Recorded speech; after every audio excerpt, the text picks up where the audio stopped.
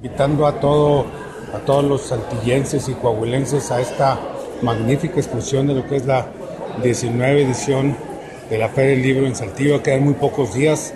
Esperemos que nos acompañen de aquí al fin de semana y que disfruten de lo mucho que hay que ver y comprar.